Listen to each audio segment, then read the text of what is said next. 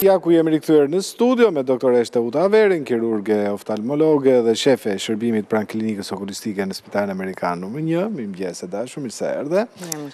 Dhe së bashku me ne është fat në fakt, që shfrytëzuam dhe rastin me këtë rast, ka mbërritur në Tiranë dhe është këtu, doktor Alessandro Grifa, mjek kirurg, specialist i okuloplastikës pranë klinikës së syve në Spitalin Amerikan. Mirëmëngjes, mirë se erdhe i dashur. Mirëmëngjes, mirë se vini. Buongiorno. Atëherë, doktoresha, çfarë po ndodh? Domethënë, mund të ma shpjegosh pak, domethënë në në klinikë, po përveç shërbimeve që kemi pasur deri më sot, paska dhe gjëra të reja, me sa kuptoj. Fusim gjithmonë risi, duke u përpjekur që shërbimin e okulistikës ta kemi sa më kompleks.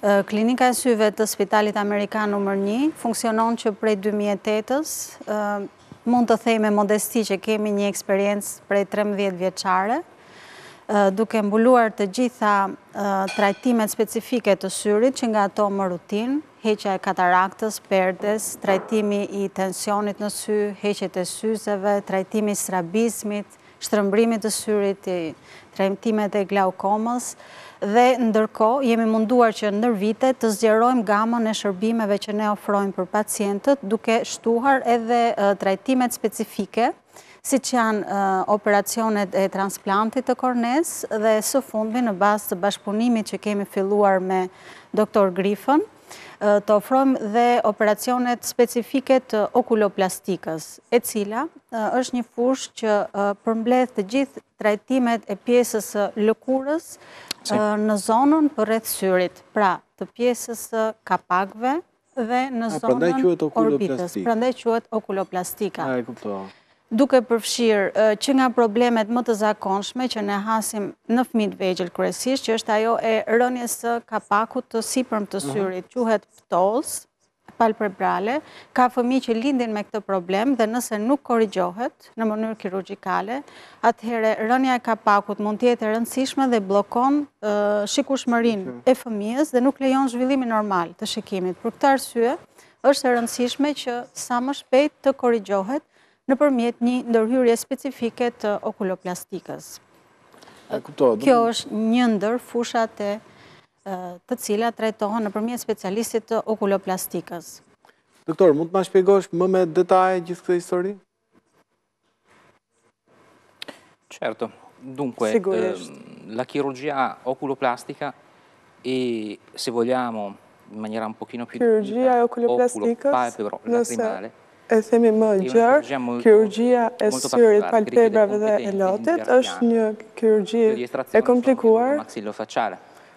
Unë jam kirurg maksilofacial.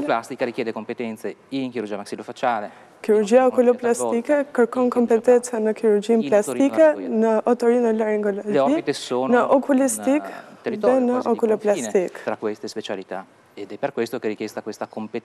Prandaj kërkohet kjo kompetencë e gjerë.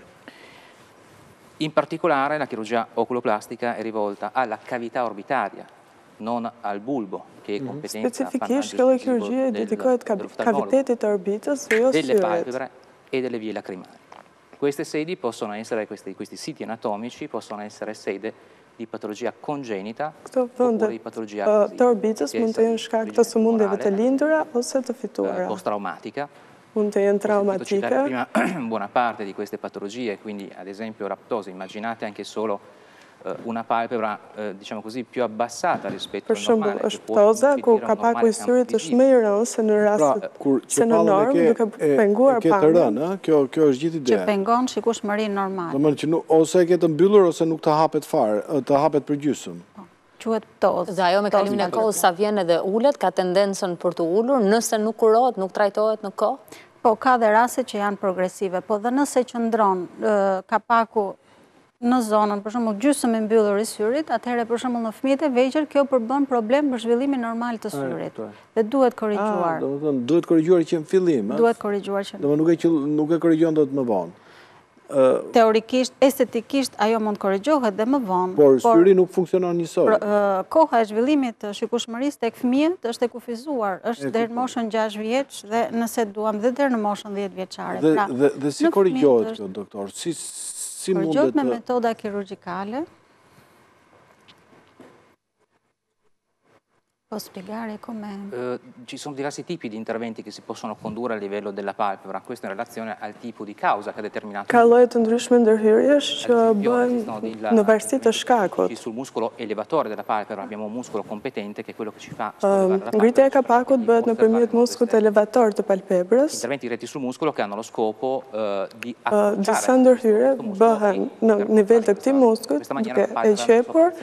dhe duke e shkurtuar atë muskul pra duke ngritur palpebrën në nivelin normal. Këto bëhen kur funksioni është i pjesshëm. Ndërsa në rast se kur kapaku është plotësisht i ulur dhe kemi një humbje totale të funksionit të muskulit, atëherë bëhet një lloj ndërhyrje me suspension të kapakut të syrit. Ky dhe korrigjimi në këtë mënyrë i gjatësisë.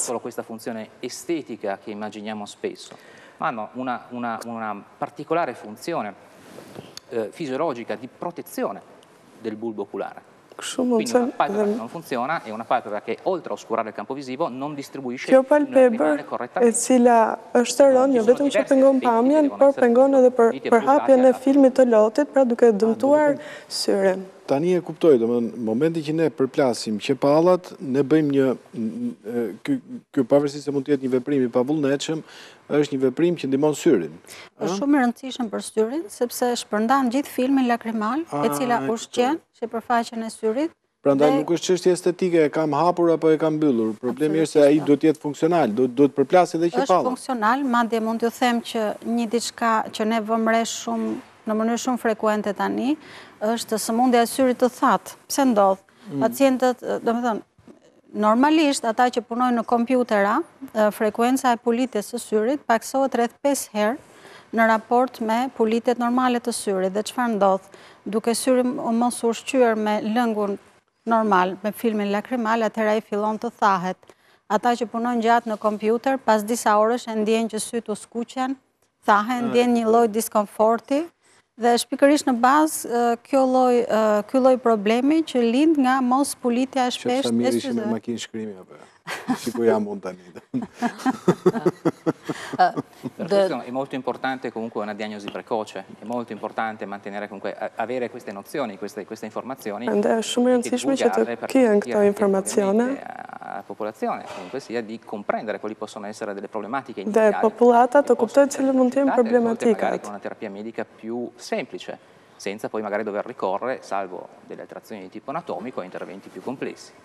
Questo messaggio molto importante. Ky është një mesazh shumë i rëndësishëm. Doktor, ty pyes, kur flasim për këtë lloj patologjie tek fëmijët e vegjël, e cila nëse kapet në kohë dhe trajtohet, pastaj rezulton efektive dhe ndërhyrja, flasim gjithmonë për vetëm këtë lloj patologjie tek kjo grupmosha, apo ka dhe grupmosha më të mëdhaja që kanë patologji të tjera, përveç ndërhyrjeve estetike që mund të bëjnë?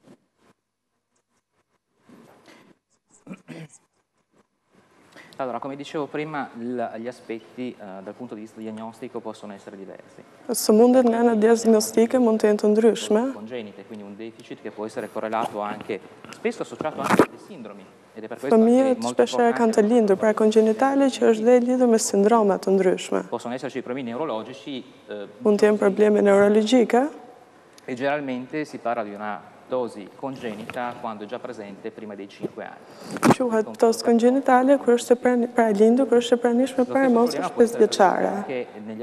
Kjo mund të ndodhë dhe te të rriturit, por për shkaqe të ndryshme. Mund të jetë e lidhur me plakjen e indeve. Është një sistem kompleks dhe nuk do hyj në detaje, por mund të ndodhë.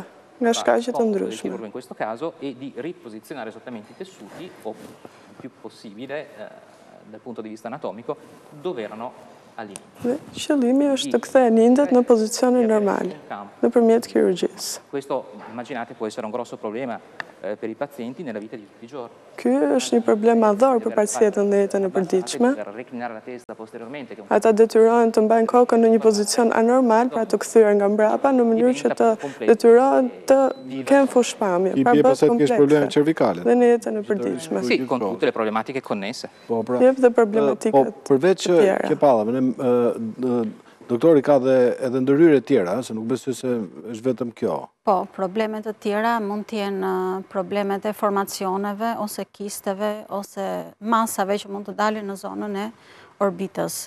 Pra, doktori hyn edhe brenda në sy? Edhe brenda në sy, në gjithë pjesën e zonës së orbitës. Në zonën frontale, sikurse... Pse dalin kiste në sy, doktor? Bëhet fjalë për kistet që dalin në zonën e lëkurës. A, në pra, zonën e lëkurës. Në zonën e lëkurës, në pjesën mbrapa globit okular. Ato që i quajnë byca, gjëra kështu. Ato janë të sipërfaqes dhe janë po probleme minimale. Problem janë ato të cilat dalin në pjesën e mbrapme të syrit dhe që mund ah. të jenë formacione pak më të mëdhaja, të cilat mund shtyjnë globin okular, pengojnë lëvizshmërinë normale të tij. dhe duhen hequr me teknika kirurgjikale dhe nga dorë kirurgjikale shumë shumë e, me teknikë të kujdesshme, sepse kemi të bëjmë me një raport anatomik të afërt me trurin dhe me pjesën e syrit. Dhe kjo është arsye që ne kemi zgjedhur të bashkëpunojmë me një emër të njohur të fushës së okuloplastikës, siç është doktor Grifa. pasi zona është pjesë shumë delikate, pra do të punohet në afërsi të syrit, në pjesën e kapakëve, në zonën përreth syrit, që gjithsesi ka komunikim dhe me pjesën e syrit, po dhe me pjesën e trurit mbrapa. Doktor, ju duhet të bëni një ndërhyrje e cila duhet të jetë më tepër se delikate, dhe mbi të gjitha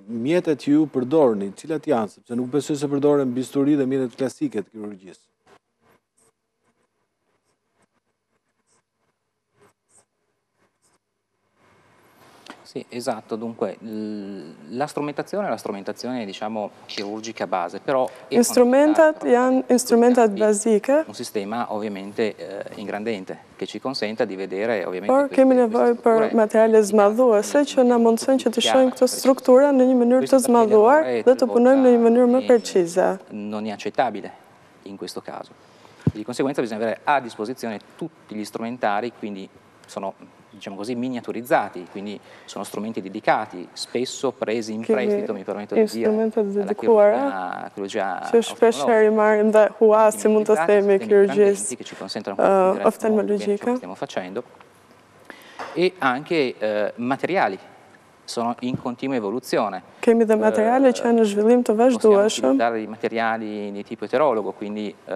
Mund të përdorim materialet eterologe ose ato sintetike, si fijet e silikonit. Pra kemi një spektër të gjerë.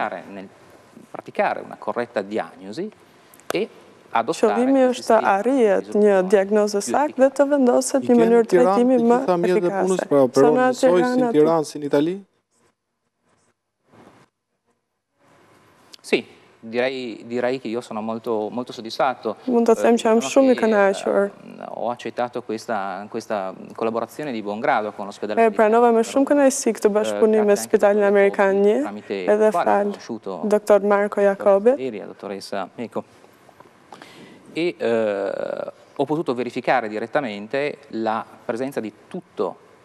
lo strumentario necessario per poter concorrere Dhe paraprakisht e kanë verifikuar praninë e të gjitha instrumenteve të nevojshme pra, në mënyrë që të bëjnë në një mënyrë sa më të sigurt dhe efikase. Në Itali dhe njëjta ndërhyrje që bëhet edhe në Shqipëri, domthonë është është e njëjtë, nuk ka nuk ka diferenca në këtë rast. No, non ci sono differenze. S'ka ndryshime. Po ndërkohë, më flisnit përpara se të fillojë emisioni për një gjë që i përket moshës së tretë, që u bien qeset e syve dhe prej, prej, prej plakjes dhe lotët dalin jashtë. Në momentin që lotët rrjedhin gjithë kohës, nuk kryejnë funksionin e tyre dhe pacienti pastaj mund të ketë probleme të mëdha dhe... Syri thahet? Thahet dhe mund të pra, ketë dhe verbim. Kur, palpebrat e poshtme, kapakët e poshtëm e humbin elasticitetin, atëherë ato mund të krijojnë një lloj varjeje, që quhet ektropion në gjuhën tonë, ose mund të kthehen nga brenda, entropion. Të dyja këto ndryshime anatomike ndikojnë në funksionin e syrit dhe duhen korrigjuar. Dhe kjo është fush, është domeni, është fusha e teknikave të kirurgjisë okuloplastike. Nëpërmjet teknikave specifike që përdor doktori, tërheqjes dhe manipulimit me lëkurën, arrihet që kapaku të rikonstruktohet në mënyrë të drejtë anatomike, po zgjidhet. Po, po. Zgjidhet dhe nuk janë ndërhyrjet më të vështira që bën okuloplastika. Po, po ça bën konkretisht doktori? Ku e tërheq? Bën bën ku Ku ndodh tërheqja? Sono degli interventi che sono, sono evoluti molto nel corso del tempo. Ndërhyrje që kanë evoluar shumë me kalimin e kohës. Attualmente sono interventi che possiamo condurre in anestesia locale. Ah, ashtu. Janë ndërhyrje që mund të bëhen me anestezi lokale, pra jo në gjumë. Ah, ka gjithsej.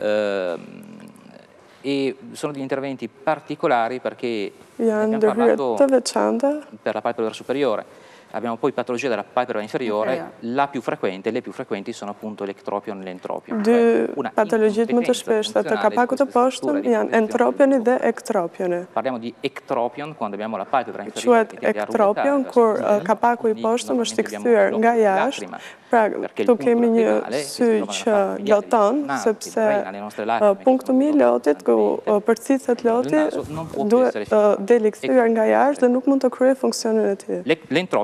Ndërsa në rastin e entropionit, është rasti i kundër, në këtë rast kapaku është i kthyer nga brenda, nga ana e bulbit të syrit. Në këtë rast kemi kapakët e syrit, qerpikët të cilët gërvishtin syrin dhe kornenë, duke shkaktuar dëmtime në nivel të kornesë. Prandaj, në këto raste sëmundjesh duhet t'i drejtohesh një profesionisti për zgjidhjen e problemit.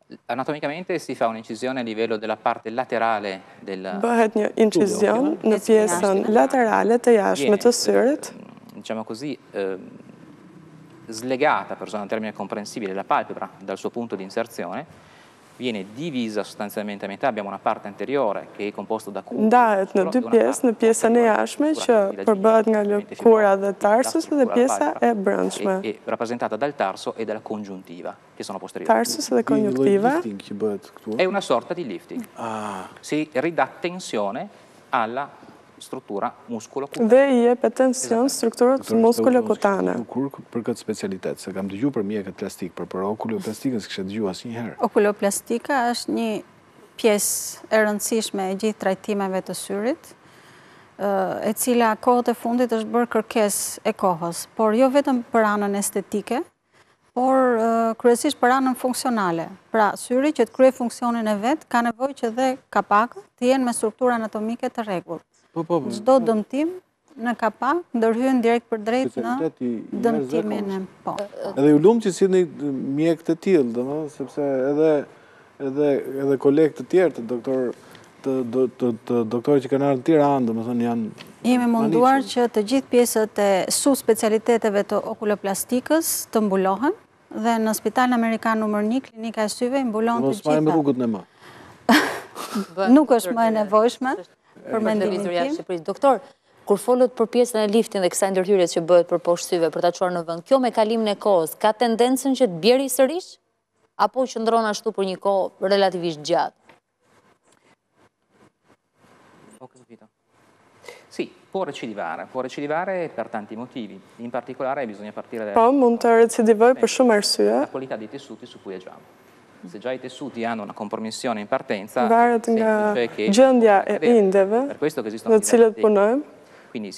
Prandaj ka dhe teknika të ndryshme. Niset nga më të thjeshtat deri në më komplekset, por po mund të themi që mund të recidivojë, pra mund të kthehet në gjendjen e mëparshme. Përqindjet janë të ulëta, por nuk janë zero, sepse ka shumë variabile që janë dhe të pandryshueshme. di ripristinare la situazione. Por mund ka gjithmonë mundësi të bëhet një kirurgji e dytë për ta rregulluar situatën. Dje të kanë mbytur punët dhe nuk e di sa orë ke ndejur duke operuar, por për për këtë vimë në fund fare. Po cila është frekuenca që vini në në Shqipëri, domethënë sepse tani e shohin njerëzit në televizor dhe filloi të bjerë telefoni, domethënë se mos mendojnë që do të vijnë gjithë sot. Doktori, është, goxha shpesh vjen në Shqipëri, si fillim, domethënë, brenda 2-3 jave do të jetë vizita e tij e ardhshme me raste të planifikuara për intervent, kështu që si frekuencë rastesh mbulohet. Domethënë, siç veprojnë për të gjithë pra, specialitetet specifike. Kontaktohet klinika okulistike në spitalin amerikan. Paraqitet pacienti për një vizitë rutinë, konstatohet problemet ankesat që ai ka, i paraqitet një rrugëzgjidhje ose një terapi ose një ndërhyrje kirurgjikale për të cilën ai ka nevojë. E kuptoj. Dhe nëse Pra mjafton të lësh takim, po, rezervosh po, takimin. Po. Rezervosh takim, po kam përshtypjen se me doktorin jeni online gjithë kohës, domethënë duke i paraqitur rastet. Patjetër që rastet komunikohen, konsultohen brenda ditës, sidomos për raste të vështira gjehet një zgjidhje shumë e shpejtë. Diciamo che la prassi è quella di è molto semplice, cioè il paziente si rivolge all'oculista di fiducia per un problema. Pacienti drejtohet tek okulisti për problemin dhe me kompetencat që ka ekipi që kemi. Ekziston një sistem shumë i mirë filtrimi që i zgjedh pacientët dhe vendos ato që janë për trajtimin e specialistit. Kjo mundëson vënien e një diagnoze të saktë të menjëhershme, por shmang edhe humbjen e kohës që është e çmuar tek një pacient me një patologji. Prandaj puna në ekip është një kusht i nevojshëm që të punosh në këto rrethana dhe me këto rezultate. Faleminderit shumë që ishe në studio, tani do të lë, sepse me siguri të presin në klinikë. Faleminderit doktoreshë Teuta. Dhe ju uroj gjithë të mirat dhe jeni gjithmonë të mirëpritur. sepse janë surpriza të këndshme. Është kënaqësi të të të bisedosh dhe të mësosh dhe gjëra të reja.